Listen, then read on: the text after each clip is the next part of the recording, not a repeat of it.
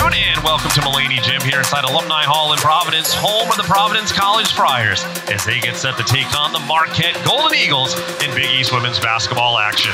Time this thing is over, Marquette would love to get up into the 70s or 80s. Here's Archibald for three, and she drills it.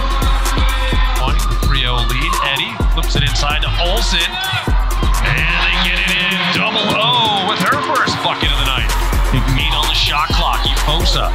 traffic, floats it up, won't go, gets her own rebound off the glass and in.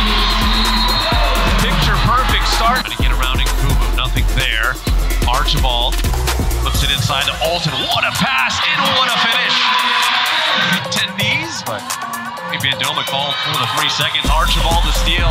He's gonna beat Hottinger to the other end, and Emily Archibald one of her best cases and a steal already. Sarah Bandoma going to work at Dipsy Doo. Gets around Karlen. And right now, Romero waiting on the wing. Trying to get around King. Looks it up and in. Good take that time by the junior from Granada Spades. Friars look to Olson. looking against Karlen on the inside. Up with the left hand and in.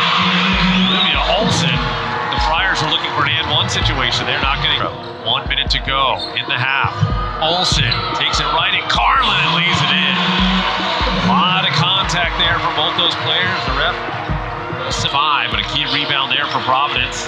Let them turn it the other way. Eddie over for Farrell for three. Got it.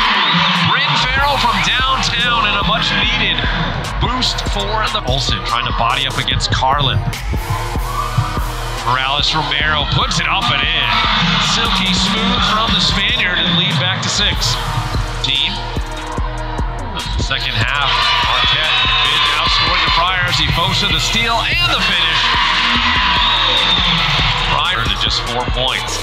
Seven on the shot clock. They go to Olson. Spin move up and in and one for the junior out of Niskayuna, New York as the Friars trying to build that lead back up.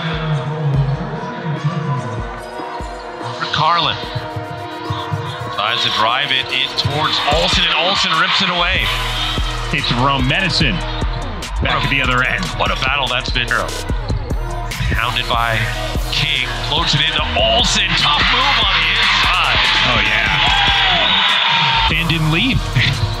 Efosa almost looked like another push off. Gets it out to Farrell.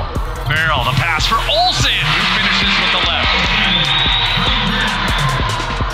Down to 10 on the shot clock. Little turn around and in. Two point game. Again, a big crowd on hand for National Girls and Women in Sports Day.